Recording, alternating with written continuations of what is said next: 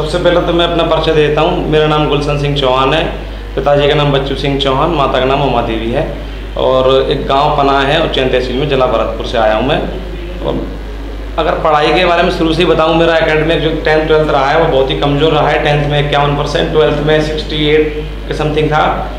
उसके बाद मैंने लाइन सही नहीं मिली गाइडेंस सही नहीं मिला था तो उसके बाद आई करी थी मैंने। आई भी मैं पूरी नहीं कर पाया था और बीच से बीच में फाइनेंशियल सिचुएशन ऐसी थी कि मुझे मतलब जॉब के लिए जाना पड़ गया था 2013 समथिंग तो मैं जॉब के लिए गया था, वहाँ से फिर एक आध पुलिस का एग्ज़ाम दिया, वहाँ से आकर के बीच बीच में तो कोई मतलब नहीं निकला था उससे।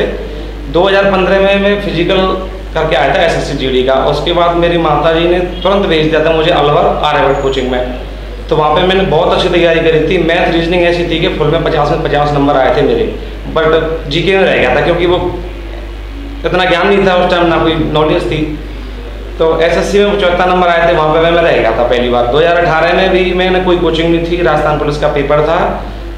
जुलाई में जो लगा था चौदह जुलाई को सेकंड मीटिंग में उसमें मेरे तिरपन चौवन नंबर थे लगभग साढ़े पाँच नंबर पार्ट में आए थे साइंस वाले में।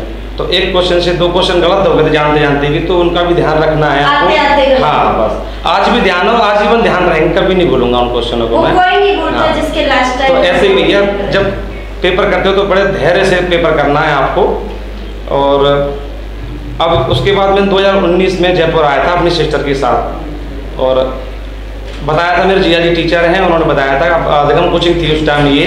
तो सभी फैकल्टी के नाम बताए थे डॉक्टर भूल सिंह यादव जी का सुमन लता यादव जी का, किरण मैम का पारिक सर का रिंकू शर्मा सर साइंस के। तो मैंने आके यहाँ ज्वाइन कर ली सिस्टर के साथ, लेकिन बैच हमारे अलग अलग मिले थे दोनों के। तो जब से तैयारी करके गया था, मैं और फरवरी में हमारा बैच पूरा हो गया था लगभग। उसके बाद से ही फिर कोरोना आ गया बीच में भरतपुर रहे, कमरा लेके बाद ऐसे ही चलता रहा पढ़ाई का।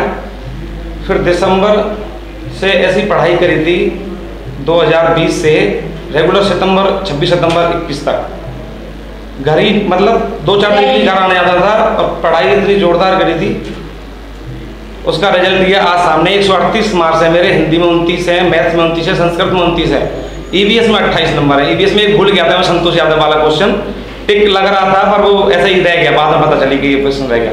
साइकोलॉजी में मेरी बहन के 120 नंबर आ गए। अच्छा, थोड़ा सा मतलब हाँ, घर पे रह के पढ़ी थी बाद में तो कोचिंग के बाद भारत को नहीं गई मेरे साथ। अच्छा, कि मैं यही पढ़ हम्म। जितनी खुशी है उतने थोड़ा दुख भी हुआ कि ये जो परीक्षा हुई है बिल्कुल प्योर अगर तरीके से होती तो शायद आज उसका भी नंबर आता one twenty five EW S category से। अगली बार जब नंबर आएगा आपसे ज़्यादा टॉप अंक लाएगा। लेकिन मैं उम्मीद है मुझे अगली बार मुझसे भी ज़्यादा अंक वो लेके आएँगे और इसी यहीं पे इसी प्लेटफॉर्म पे आएगी इंटरव्यू देने के लिए जो मुझे उम्मीद है उससे बहुत।